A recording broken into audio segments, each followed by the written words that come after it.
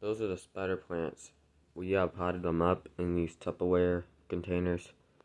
So, yeah, with some soil and yeah, they should do good. But yeah, those are the spider plants.